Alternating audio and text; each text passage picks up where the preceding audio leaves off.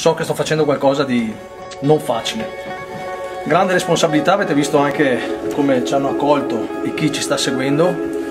Tutto quello che viene da qui in poi è nuovo per tutti. Quindi cerchiamo di viverlo alla grande perché è un momento credo che non vivremo mai più. Dai!